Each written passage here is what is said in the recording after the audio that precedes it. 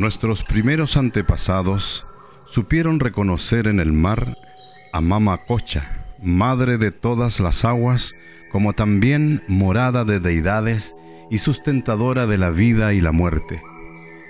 Lograron vivir en armonía con el mar, enfrentando problemas y riesgos, pero al mismo tiempo observando, experimentando, inspirándose, buscando soluciones y así obtener el alimento necesario y materia prima para realizar obras artesanales y artísticas, crear nuevas alternativas para vivir el mar.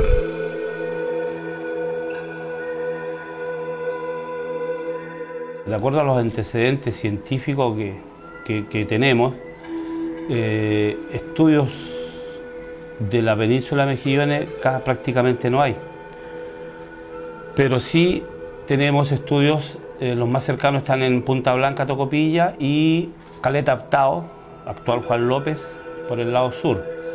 Los elementos que se han encontrado cercanos a Mejillones corresponden al sector Las Loberas y que por comparación del ajuar funerario con los sitios investigados hemos determinado que tienen una antigüedad cercana a los mil años, o sea, eh, mil años después de Cristo.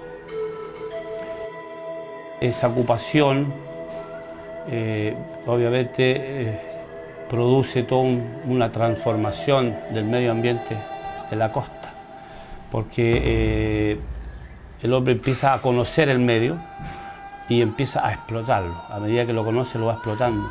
Van conociendo para qué sirve esto, para qué sirve esto, esto otro. En un comienzo el hombre se hace dueño de la orilla, ¿cierto? Eh, eh, empiezan a mariscar, a, recolectar cosas de la orilla.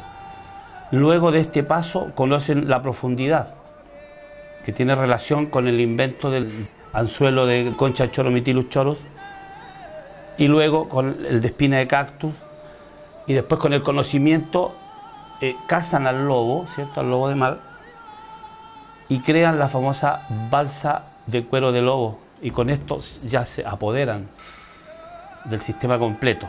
Orilla con recolección, profundidad con el anzuelo y el mar con la balsa cuero lobo.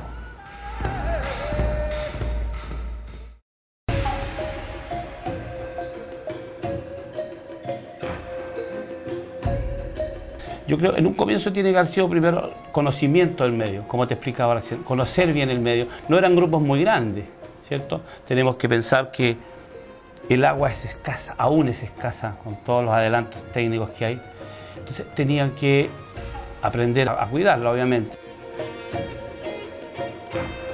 Dentro de los, de los sitios que se han excavado se han encontrado eh, una especie de cantimplora hecha con la vejiga del lobo, porque la vejiga de cualquier animal es impermeable y te permite, es fácil de transportar. Entonces, imagínate en todo un periodo de investigación, de conocimiento del medio, que son larguísimos, uno no, inventa una cosa de, hoy día para mañana, viene todo un proceso de experimentación primero, ¿cierto? Y a medida que fue conociendo esto, lo fue, lo fue aplicando, fueron apareciendo, incluso te puedo decir, lavarse el cuero lobo se usó hasta el momento en que embarcaban para embarcar el salitre, cuando ya los ingleses están acá en, estos territorios.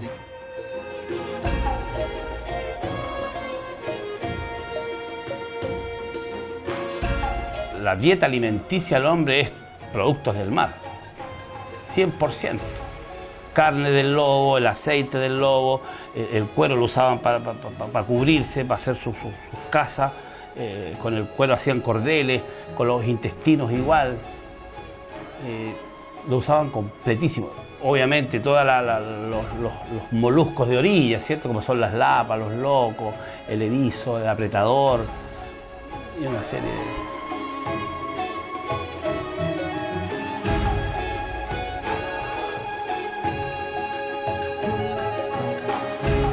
Tiene que haber sido tribal, ¿cierto?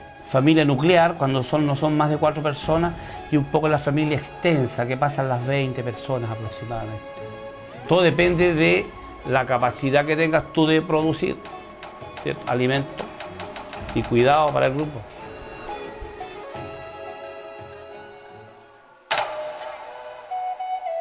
En la obra titulada Estudios Geográficos de Tarapacá, editada en 1886, en la que se dice, hasta el año 1856 se creyó que los yacimientos de salitre no se extendían más al sur de la quebrada del Loa. En esta fecha se tuvo conocimiento de que en el litoral de Bolivia existían también mantos de caliche con una regular ley de nitrato. En el año 1858, los cateadores argentinos Pavés y Bello presentaron a la prefectura de Cobija varias muestras de carcote o caliche que habían extraído de los depósitos llamados ahora Carmen Alto. Antes de esa fecha había descubierto caliche don Domingo Latrille en el Salar del Carmen. Bueno, los hermanos Latrille descubren, eh, también juntamente con el famoso Juan López, descubren el guano acá en, la península de Mejillón, en el sector de alto del Cerro San Luciano, y eso nos produce los primeros intentos de crear una población estable cercana al Cerro San Luciano, en la parte baja. Eh, no tenemos mayores antecedentes que uno que otro escritos en algunos libros de la época.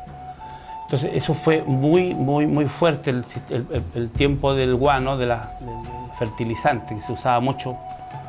Después de eso viene un periodo de calma, ¿cierto? Empieza a caer un poco esto de exportar el guano, el, comercio del guano empieza a caer y eh, nos aparece el famoso salitre, razón por la cual nos peleamos con los vecinos, ¿cierto? En 1879, que también eh, Mejillones queda como puerto de embarque junto con Cobija Gatico, Mejillones, puerto de embarque para la salida del producto.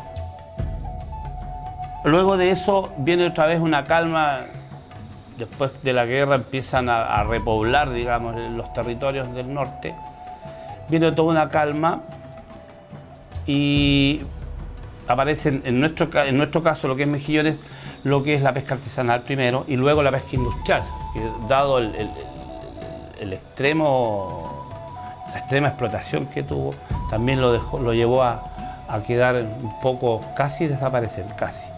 Y después de eso nos vienen las grandes empresas que se han ido estableciendo acá en, Mejillones, como lo es el Megapuerto, la empresa Naex, eh, Puerto Mejillones, eh, del Nor, Gas Atacama, que ellos contratan personas de Mejillones.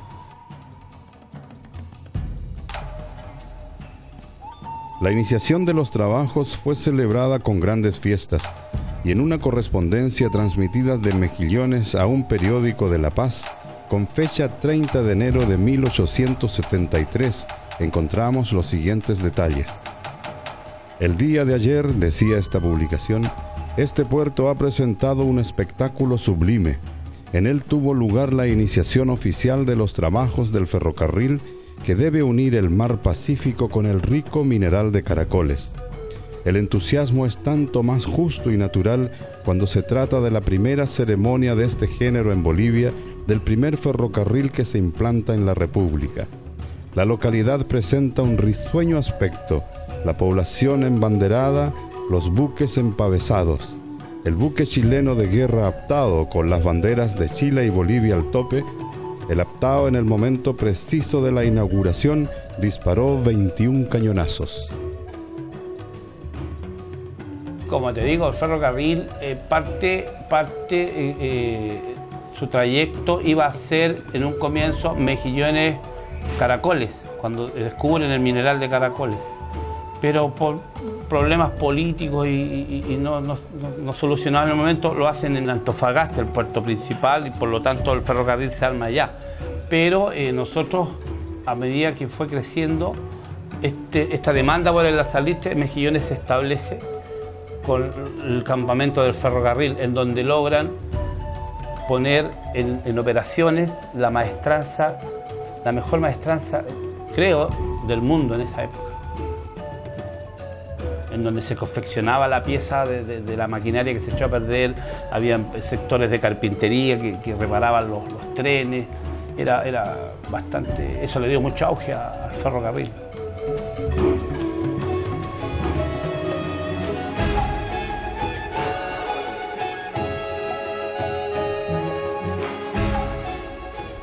La verdad, la verdad, uno como mejillonino, yo soy de acá, eh, un poco egoísta el pensamiento o sentimientos encontrados. No quisiera que creciera más para mantener estas hermosas playas, pero tiene que crecer. Y creemos que con, el, con la construcción del, del megapuerto eh, tenemos abiertas las puertas hacia el Asia-Pacífico. Tenemos las puertas abiertas a nuestros vecinos de la espalda, Argentina, Bolivia, Perú, Paraguay, Brasil. Ellos quieren, a través de este corredor, eh, iniciar sus exportaciones hacia Asia. Y ahí vamos a estar, y yo creo que eso nos va, va a crecer mucho esto. Entonces por eso, sentimiento encontrado.